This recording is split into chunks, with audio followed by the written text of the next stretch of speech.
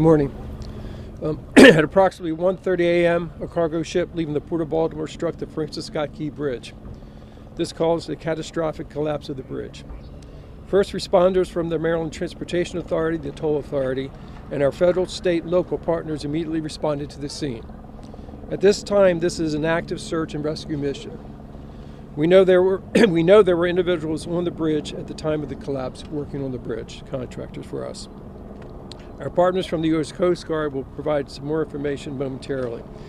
In terms of traffic, drivers should avoid I-695 Southeast Corridor and use I-1, I-95 and I-895 as alternatives.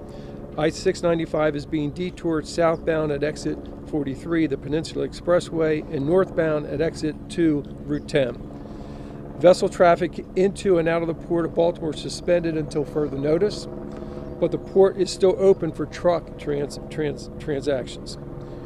Obviously, we're very thankful for the first responders who are carrying out their efforts in these rescues and that, that they're that they're doing this all through the night and today. And we're praying, obviously, for everyone's safe return. We'll continue to provide updates to you. The next one being approximately 9:30. With that, with that, I will turn it over to Lieutenant Colonel Palmer from the U.S. Coast Guard. Good morning. My name is Lieutenant Commander Aaron Palmer from Coast Guard Sector Maryland National Capital Region.